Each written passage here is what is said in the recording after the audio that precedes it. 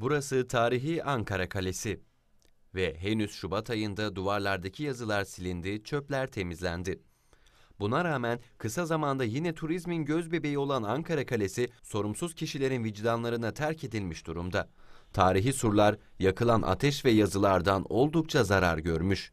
Gözetleme kuleleri ise çöp içerisinde. Başkentin en bilinen tarihi mekanlarından olan Ankara Kalesi'ndeki görüntü yurttaşların da tepkisine neden oluyor. Birçok yurttaş kaledeki tuvalet kokusundan şikayetçi. Ankaralılar kalenin korunması ve kalede nöbet tutulması gerektiğini düşünüyor.